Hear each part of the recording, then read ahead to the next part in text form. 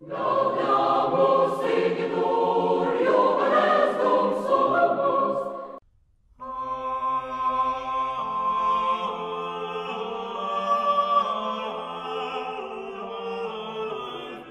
сегодняшняя лекция посвящена истории английского языка.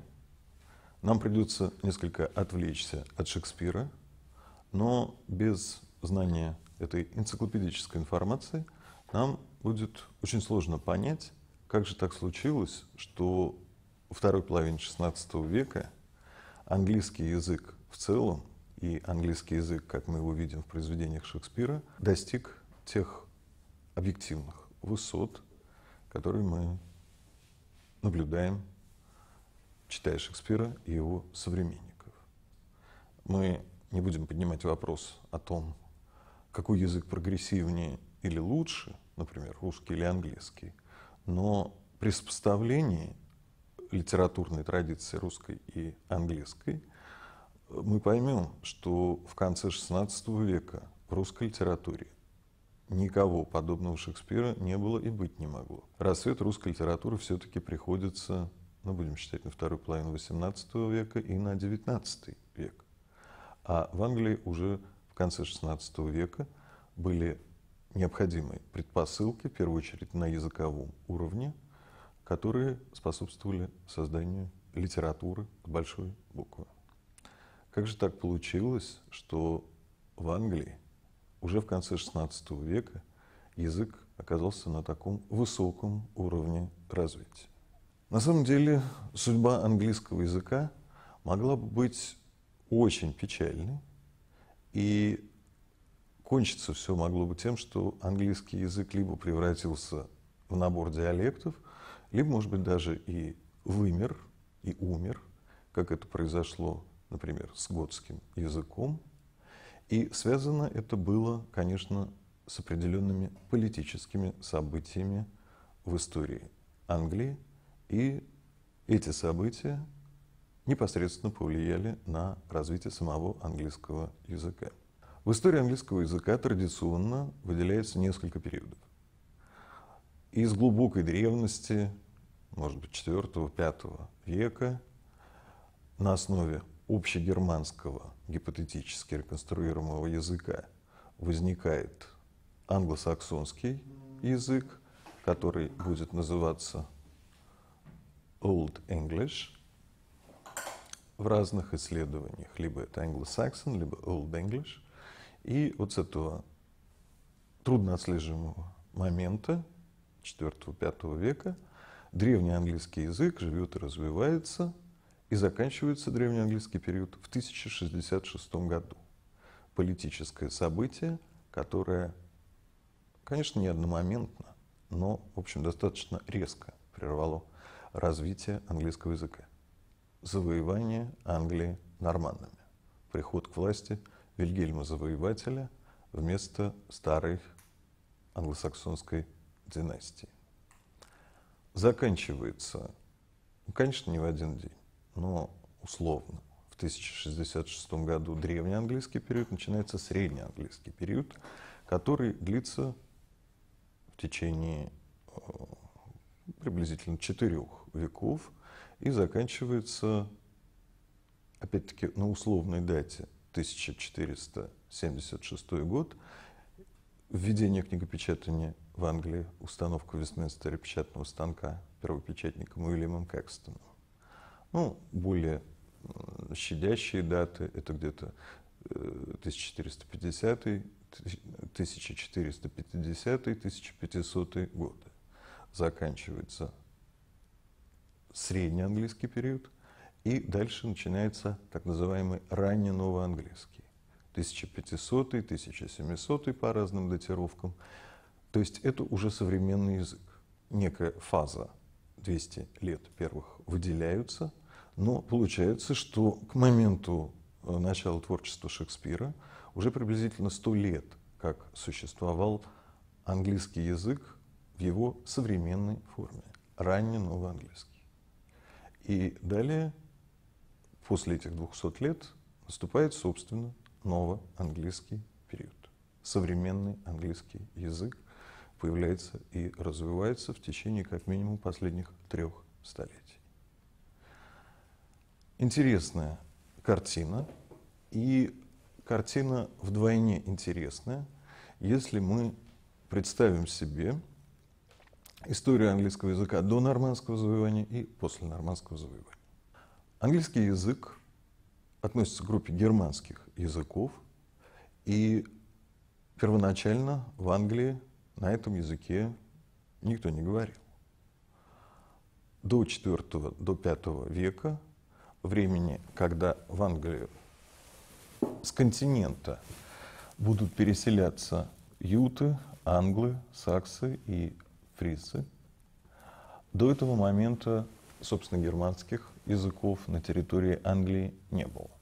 И когда начинается экспансия с континента на острова, вот в этот момент и появляется сначала набор диалектов, основанных на гипотетическом общегерманском языке, который превратится на основе эссекского диалекта в развитый э, литературный язык Old English, древний английский, англосаксонский.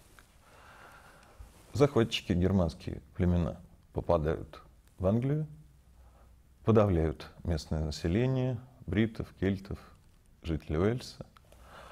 И далее начинается сложное в плане датировок э, политическое развитие, которое на культурном уровне сопровождается только фольклорной традицией, конечно, не сохранившейся, поскольку это устная речь, и церковной традицией, в основном, конечно, связанной, связанной с латынью.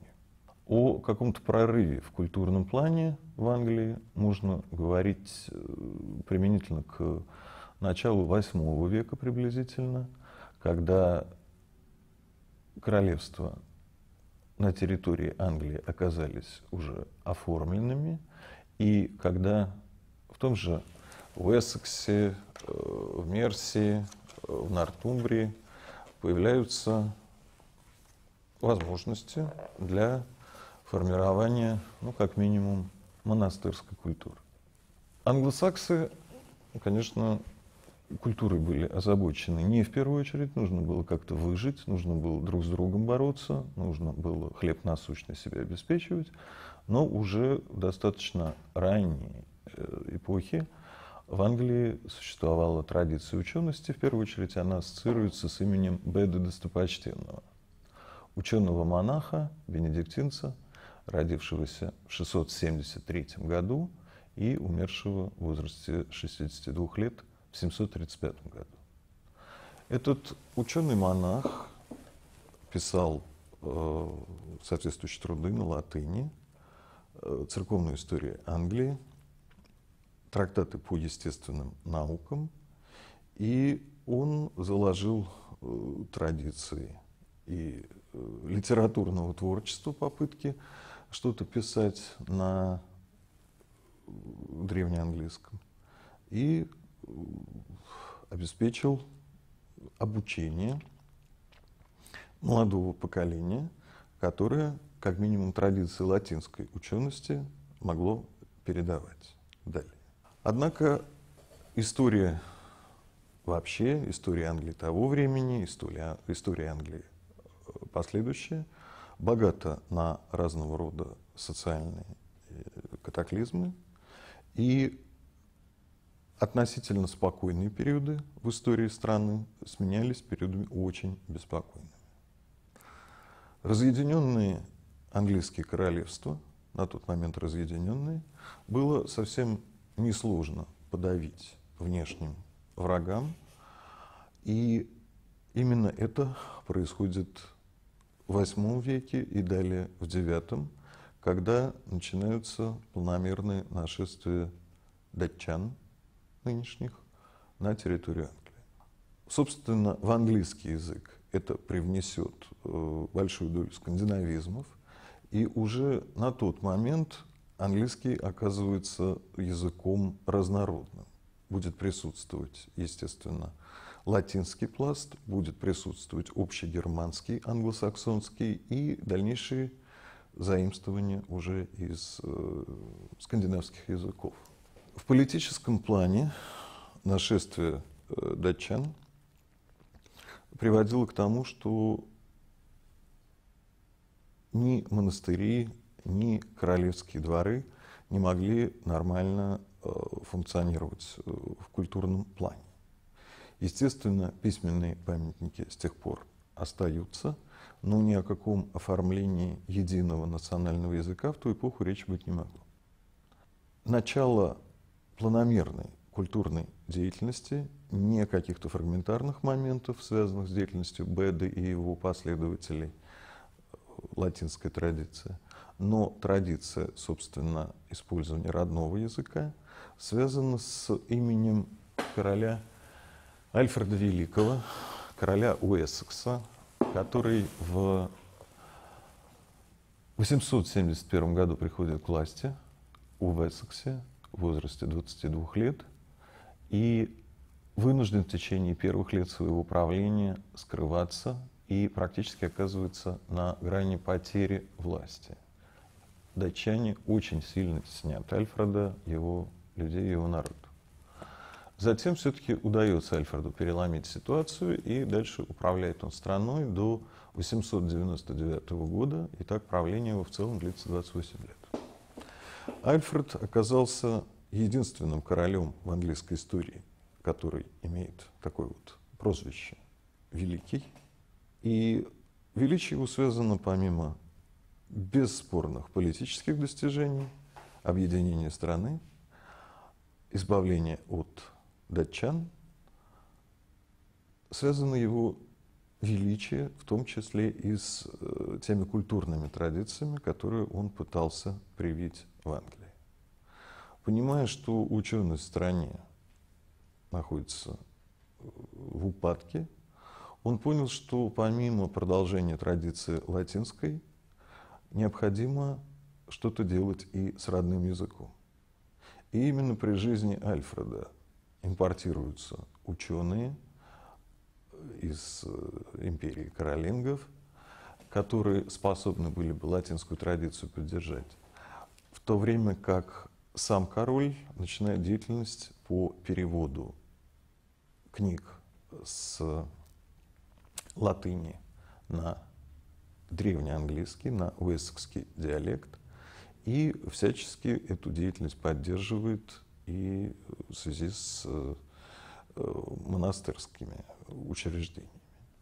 И именно в правлении Альфреда возникает возможность для оформления уэссекского диалекта в более э, сложное языковое единство – когда не только бытовые ситуации и не только фольклор смогут описываться на соответствующем языке, но и другие сферы жизни. После смерти Альфреда на какое-то время наступит упадок в английской литературной традиции, но затем, уже с середины X века, начинается так называемое бенедиктинское возрождение. Монахи-бенедиктинцы в эпоху, когда страной управлял будущий святой Дунстан, естественно, монах, э, политический деятель, который был регентом в течение правления нескольких малолетних королей. Святой Дунстан поощрял, опять-таки, не только политическую деятельность по объединению страны, но и культурную деятельность. И вот тогда, к концу X века, в полной мере проявился потенциал английского языка концу X века, к первой половине XI века. Были созданы библейские переводы, переводы Библии на древнеанглийский язык. Создан был национальный эпос «Беовульф», очень яркий текст. Создавались лирические и духовные стихотворения. Создана была англосаксонская хроника, первоначально бытовым стилем написанная еще король Альфред внес вклад в написание хроники. Даже роман был написан в нашем современном понимании этого термина Аполлоний Тирский.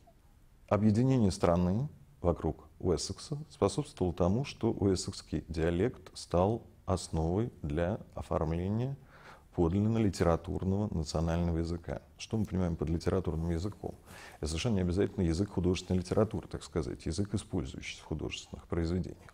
Литературный язык — это язык, который позволяет покрыть все сферы деятельности, помимо бытовой, которые с данной национальной традицией э, ассоциируются.